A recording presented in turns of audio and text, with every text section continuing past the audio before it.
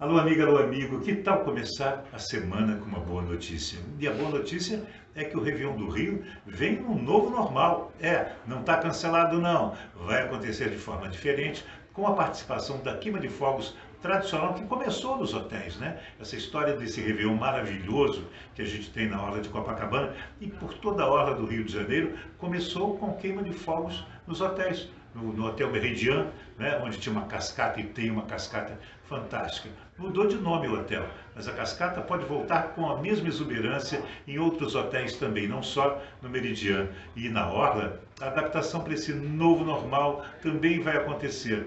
Que bom! Poderemos ver o turista voltar ao Rio de Janeiro, aos hotéis, poderemos ver os empregados funcionários dos hotéis voltarem a trabalhar, ser chamados de volta para os seus postos. Essa é a boa notícia. Nós teremos Réveillon e o melhor que pudermos ter nessa cidade maravilhosa, cuja vocação principal é receber de braços abertos quem ama a gente. E olha, tem uma verdade que eu nunca me esqueço: carioca é quem ama o Rio.